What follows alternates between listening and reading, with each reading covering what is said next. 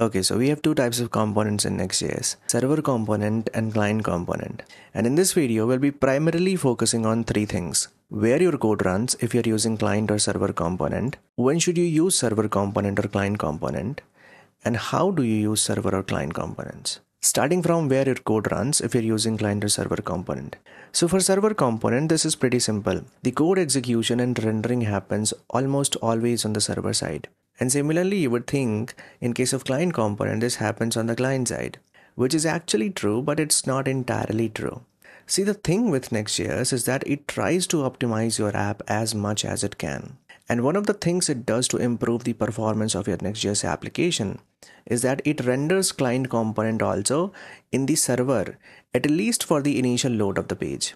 So what really happens is that on the server side, React creates a special package called a React Server Component Payload. And this includes both the server rendered content and references to client components. Next.js uses this payload along with the JavaScript instruction to generate an HTML page on the server. This page then gets sent to the client to show a fast non-interactive preview of the page. And then with the process of reconciliation and hydration, the page becomes interactive and usable. Now at this point you may think that if the initial rendering for client components is also happening on the server side, then why are we calling these client components? Thing is that server component and client components are more about where your code runs and what capabilities they have. So let's talk about these capabilities and also discuss in which scenario it makes sense to use client component and when it makes sense to use server components. So we have this a very nice table present in the Next.js documentation that tells you if you have these kind of cases, which component makes sense for your use case. And obviously this is Next.js recommendation. For example, in the first thing that you can see, we are talking about fetching data. What Next.js recommends is if you are fetching data, do that in the server component. It's not like you cannot fetch data in client component. It's just that Next.js recommends you to fetch data on your server components and for all of all of the interactivity thing you can use client components. So that means if you want to fetch data if you want to access backend resources directly if you want to keep sensitive information on the server and if you want to keep large dependencies on the server or reduce the client side javascript in all of these cases it makes sense to use server component right? But for all of the other scenarios for example if you want to add interactivity and event listeners to your page by using things like on click, on change, or if you want to use state or lifecycle effects methods like use state, use reducer, use effect, things like that. For all of these things, you are going to have to use a client component. Now let's see how do you use server or client components. The first important thing to understand here is that whenever you create a new component, it is always going to be a server component. So as you can see, this is a home page component and this is a server component, right?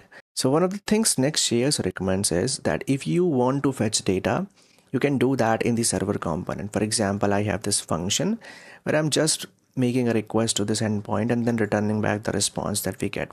And then in this home function, I am first basically awaiting the response that I'm waiting for this uh, data. And then after that, I can render data over here, as you can see over here, right?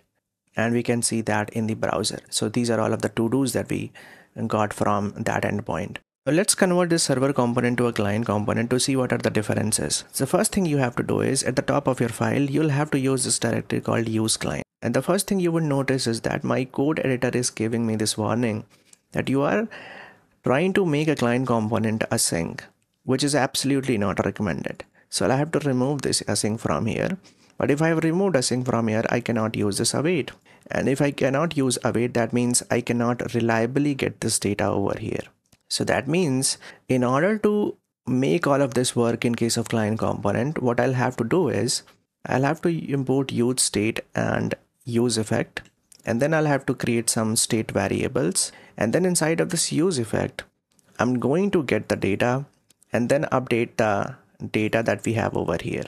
And then we use this data to render a list over here and we can see this is working as expected. Let's refactor our code a bit I will move this get data function to a separate file.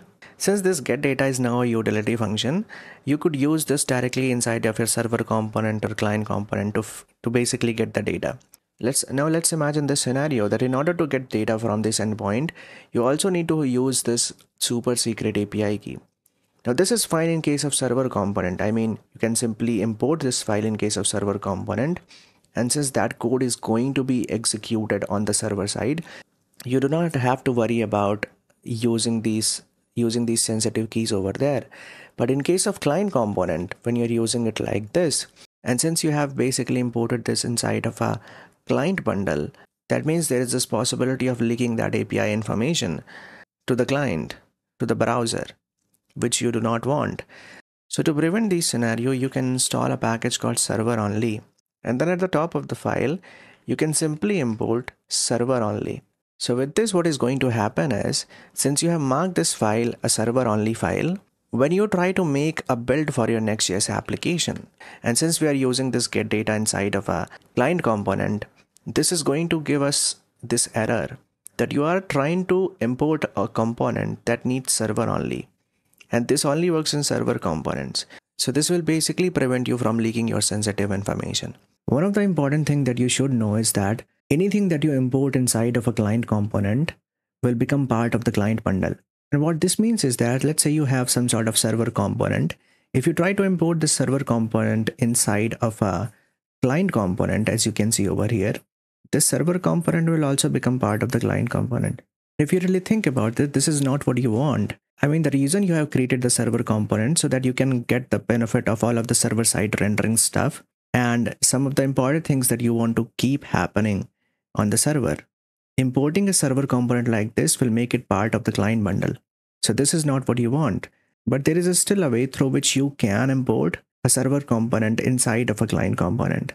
You can do that by passing server component as children of the client component. So here, so have a look at this example. Here what is happening is this client component is accepting the children and then this children is being rendered over here. So in the parent component, this is how we can use this. We are first basically getting the client component and then we are passing this server component as a child of this client component. So when you do something like this, server component will not become part of the client bundle.